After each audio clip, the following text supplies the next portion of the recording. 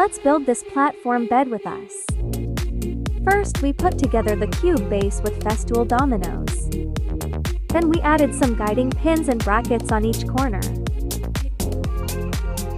The three top panels were also connected with dominoes in between them.